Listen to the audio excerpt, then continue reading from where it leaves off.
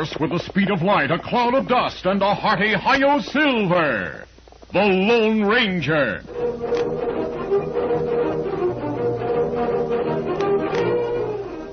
Before this exciting adventure, a word from our sponsor. General Mills, makers of Cheerios, the ready-to-eat oat cereal that gives you go power, and Wheaties, the breakfast of champions, present by special recording The Lone Ranger. Listen. See if you can recognize the famous voice on this record. I'm a happy mouse, and I ought to be.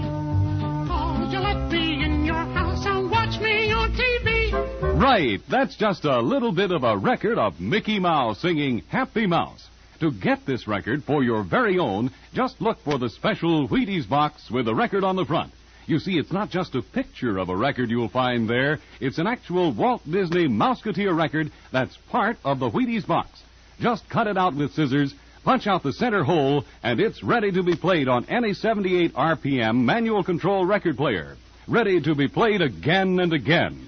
There are eight different Mouseketeer records you can get, all featuring famous Walt Disney characters. There's Donald Duck's song, Goofy singing It's Fun to Whistle, and many, many more. Just look for the special Wheaties Mouseketeer record package at your grocer's. The records won't cost you one penny extra with Wheaties, Breakfast of Champions.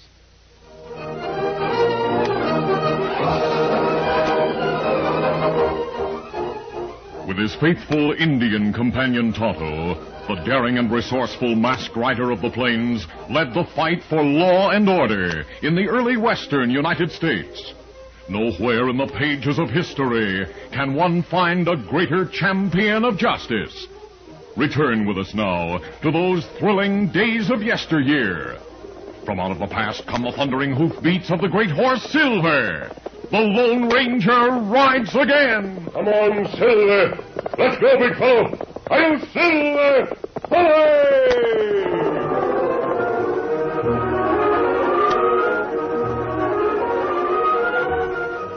When Stan Jordan and two other men robbed the bank at Fowlerville, the Lone Ranger tried to pick up their trail but failed.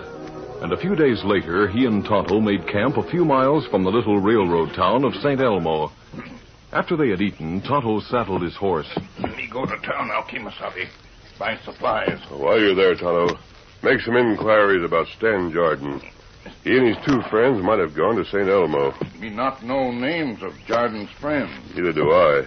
But you know their description. That right. Easy, Scout. Easy, fella. Me ask some people in town. Get 'em up, Scout. When Tonto reached town, he rode to the livery stable. As he put Scout into his stall, he noticed a rangy bay with a white star on its left flank. It was the horse ridden by Stan Jordan. Tonto looked for the stable keeper.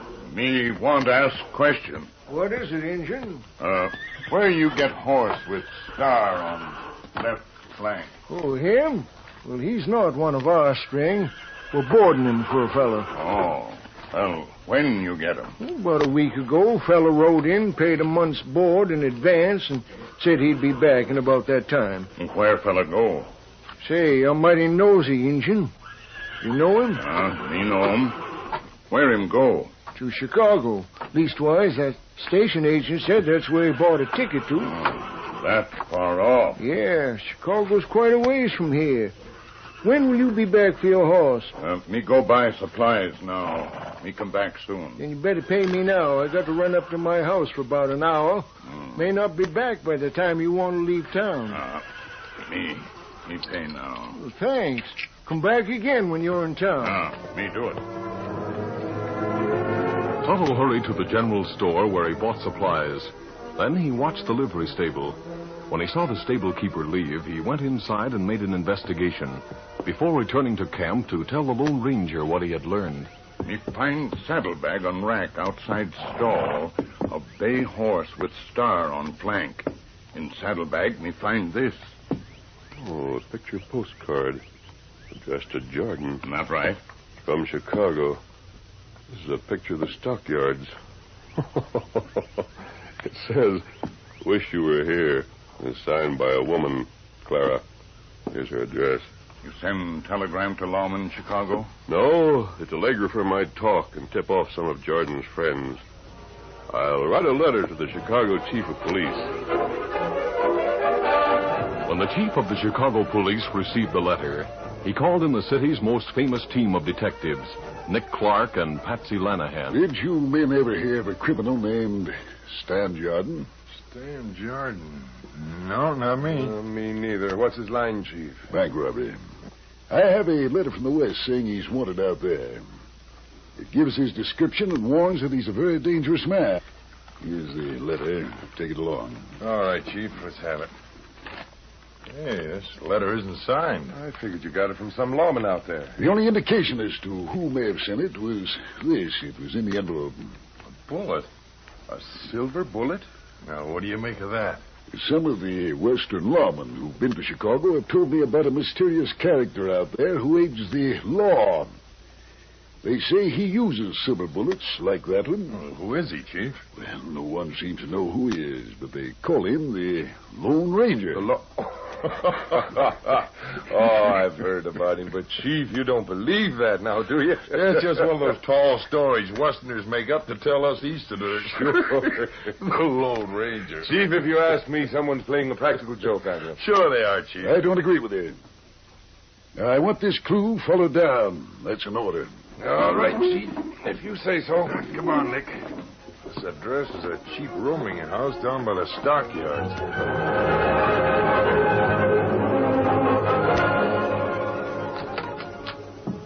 Come on in, Stan. You're just in time for breakfast. Hiya, Clara.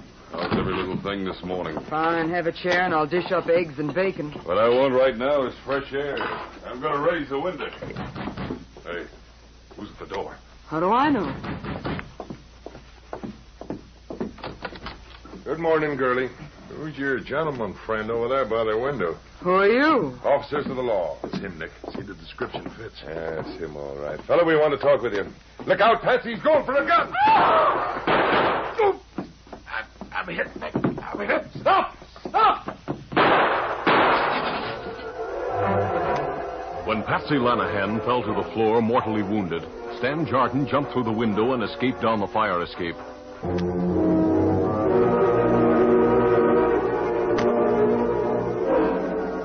A few days later, Tonto rode into the Lone Ranger's camp with copies of the Chicago newspapers.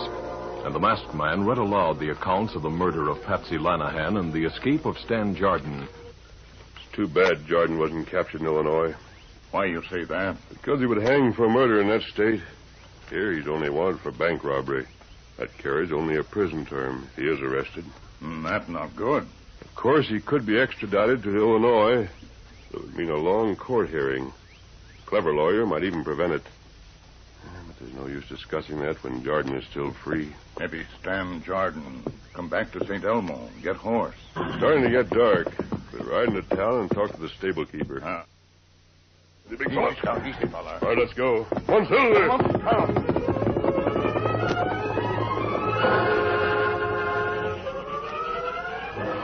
Meanwhile, in St. Elmo, Bill Baxter, the livery stable man, dozed in the cubbyhole office.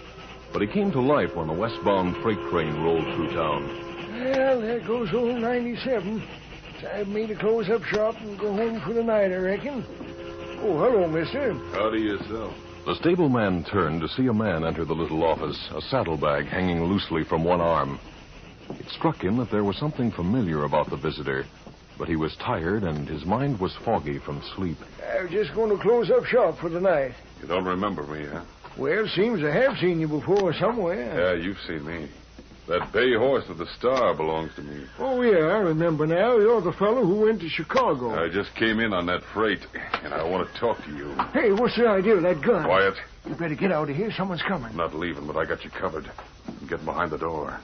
You get rid of whoever it is pronto, savvy? Sure, sure, I'll get rid of him. Mask man, what do you want? I want to talk to you about that bay horse with the star on his flank. He- Freeze, What? mister. Stan Jordan. Yeah. Now I know what I came all the way back here to find out. What's that? How the Chicago police found out I was in town. Me get him. Hey, you. Let go, idiot. You'll break my arm. I quit. I quit. All right, let him up, Tonto. Well, me, me got his gun. Land sakes. All right, let's go, Jordan. Where you taking me? To the sheriff in Pineville. Me get bay horse with star on flank. When the Lone Ranger and Tonto reached Pineville with their prisoner, the masked man told Tonto to wait outside the sheriff's office with Jardine. Then he entered the office. Good evening, Sheriff. Hey, what's the idea? Don't reach for your guns. I'm no outlaw, Sheriff. What's the idea of that mask? You'll understand in a moment. Bring him in, Tonto. Ah, me bring him. An Indian, huh? Do you recognize the man with him, Sheriff? Holy smoke, it's Stan Jordan. Tonto and I captured him in St. Elmo this evening. He's wanted for robbing the bank at Fowlerville. More important, he's wanted for murder in Chicago. Just who in thunder are you, mister? Does this mean anything to you? Here, catch it. Bullet. Silver bullet? That's right. What? Why, you're the Lone Ranger. The masked man explained the facts to the sheriff, then said, I advise you to telegraph the Chicago police at once. And now Tonto and I will be going. Are you leaving permanent? No, Sheriff. We'll be around here until we know the outcome of Jordan's case. Also, we're on the lookout for the two men who helped Jordan rob the bank at Fowlerville. Come along, Tonto. Adios, Sheriff. Adios. Adios.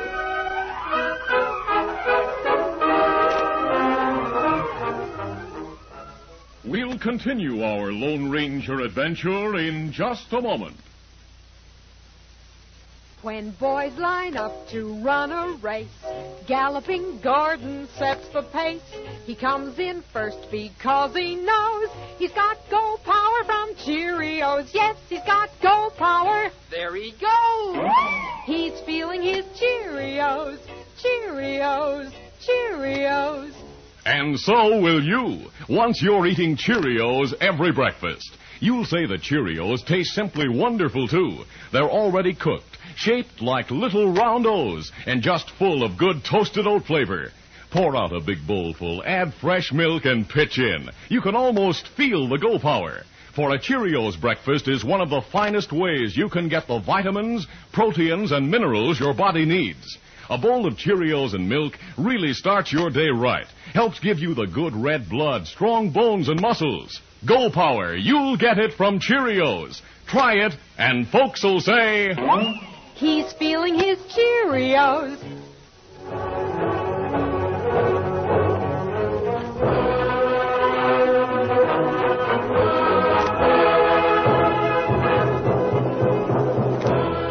Now to continue. The following day, far to the north of Pineville, two men read the newspaper account of the capture of their former friend, Stan Jardine. They were Gus Dunham and Tex Adams, both of whom had helped Jardine rob the bank at Fowlerville. Gus, we got to help Stan. We got to get him out of jail before they take him to Chicago. Yeah, I've been thinking about that. I've got some ideas, too. You have? When does the paper say the Chicago lawman is due to arrive in Pineville? Ah, two days from now. Hmm. Oh, Tex, the train don't go to Pineville. The nearest railroad stop is at St. Elmo. What about it?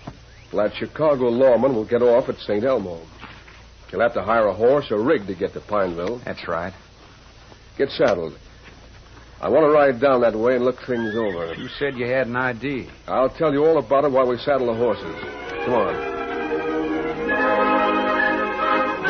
The Lone Ranger also kept abreast of the news that Chicago police were sending an officer west to get Jardine.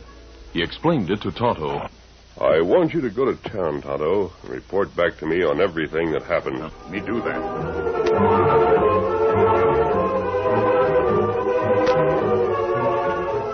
When Detective Nick Clark arrived at the St. Elmo Railroad Station, he hired a saddle horse, got directions, and headed out on the trail toward Pineville. Being an inexperienced horseman, he had to concentrate on riding and hardly noticed two horsemen who approached.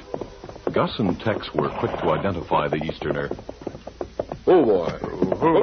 Who there? Oh, oh, oh. Morning, mister. Howdy, stranger. Good morning, Jack. Is this the road to Pineville? Cover him, Tex. Don't make a move for your hip, Tin Star. Hey, what's the idea? Get down from that horse pronto. Get his gun, Tex. Yeah, I've got it. I'll cover him, Gus. Oh, oh, boy. Now, mister, start peeling off your duds while I do the same. We're going to change clothes. yeah, and leave the cigars in the pocket. yeah. It'll make me smell like a big town detective when I call on the sheriff in Pineville. Two hours later, Gus Dunham, dressed in the clothes of Detective Nick Clark and puffing one of the latter's cigars, walked into Sheriff Waterfield's office in Pineville and presented his credentials. Come this way. Here he is. You recognize him? Yeah. Yes, he's the dirty killer who shot my partner. Jordan, this is Detective Nick Clark from Chicago. Guess you remember him all right. Yeah, I know him. What about it? The sheriff tells me you'll fight extradition. I can't put up any fight. I have no money for a lawyer. And you'll go back with me? I can't help myself. You'll have to sign a waiver. All right, I'll sign it. Well, doggone my buttons. I never expected this. I'd rather risk a trial in Chicago than a lynch mob here. That's probably what'll happen. Sheriff, there's an eastbound train through St. Elmo in about four hours. I guess I might as well take the prisoner and get started. I'll ride along with you. Oh, that won't be necessary, Sheriff. I can handle him. He's still in my jurisdiction. I don't want anything to happen before he gets out of it. Yeah, I guess you're right.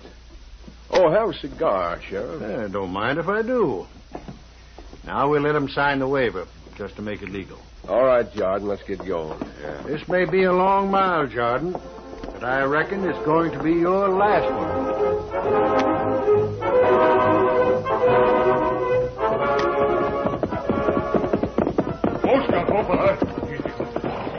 Did anything happen in town, Tonto? Plenty happen. Ask Kimasabi. Detective come from Chicago. Him have murder warrant for Jordan. Now detective take Jordan to railroad at St. Elmo. You mean Jordan didn't fight extradition to Illinois? Well, sheriff say Jordan signed paper. Sheriff call paper waiver. Oh, I see. Jordan waived extradition. What that mean? He agreed to go back to Illinois without putting up a court fight. Oh, that good.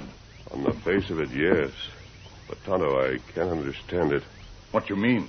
Jordan gave in too easily. No man is going to hang without putting up a fight to prevent it. Well, Jordan say him fear lynch mob. There's been no talk of lynching. Tonto, until he's on the eastbound train, I can't believe this is all on the level. Get mounted. Here, Silver.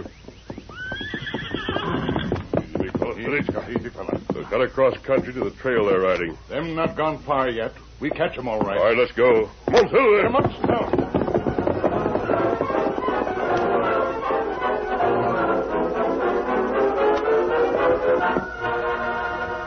Meanwhile, Nick Clark, the Chicago detective, and his guard Tex Adams waited a few rods from the trail leading to St. Elmo. You're as funny looking in those clothes as Gus was in your outfit. Won't be so funny when the Lone Ranger tracks the three of you down. the Lone Ranger. That's a joke. I thought so too once. It cost the life of the best friend I ever had. Hey, someone's riding this way. Must be Gus and Stan. Yeah. Yeah, here they come. Holy smoke. Who's with him? Another killer? it's the sheriff in handcuffs. Uh, How'd you get the sheriff, Gus? he just wanted to come along, didn't you, Sheriff? Who is this man? He's a famous Chicago detective, Mr. Nick Clark. I borrowed his clothes, Sheriff. also the warrant I showed you. All right, Gus, get out of them dozen into your own.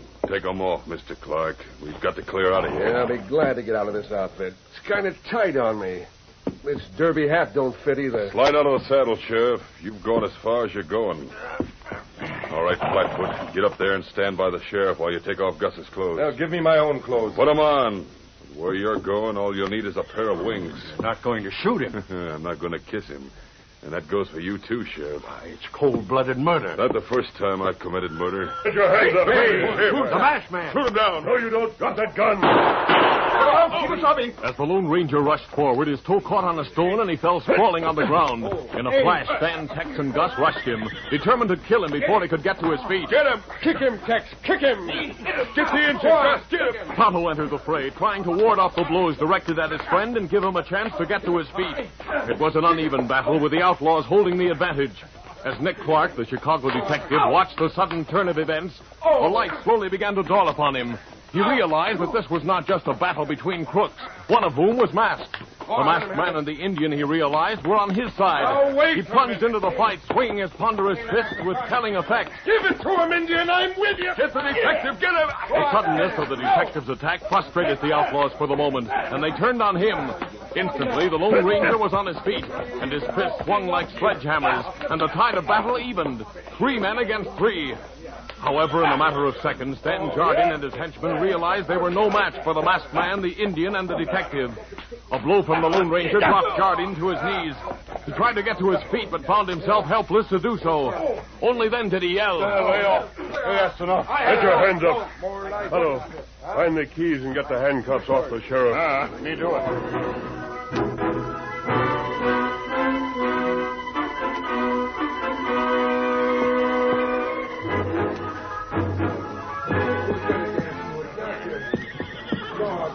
Mister, there's something I'd like to know. Oh, what is it, Sheriff? How come you and Tonto showed up here when you did? Tonto told me what happened in town.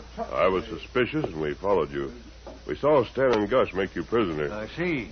You had it pretty well figured out by then. Yes.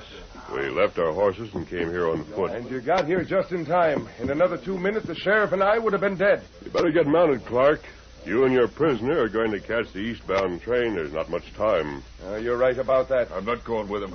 I demand a hearing in court. You can't extradite me without a hearing. Jordan? Jordan, you lost your day in court in this state when you signed a waiver. You bet you did, Jordan. Now you'll hang. Uh, can you take care of the other two prisoners, Sheriff? I sure can, mister. They'll be tried for bank robbery, and they'll get the limit. Good. Then Tonto and I'll be on our way. Here, Silver. Good enough. Adios. Adios. Bye. Come on, Silver. Get 'em up, Scout. Sheriff, could it be possible that that masked man is the Lone Ranger? Yep. How did you guess it, Clark? Well, from what I've learned, there's just one man in all the West who could have done what he did. And that man is the Lone Ranger.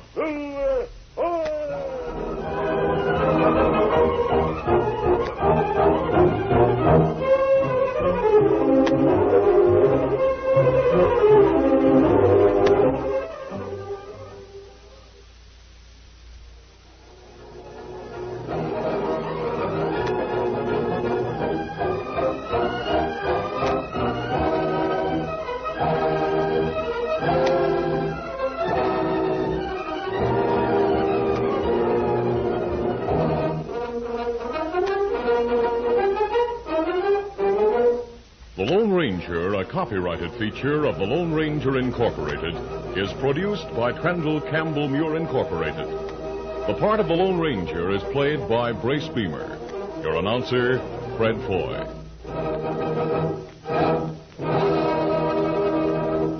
Listen to The Lone Ranger, brought to you by special recording Mondays through Fridays at this same time.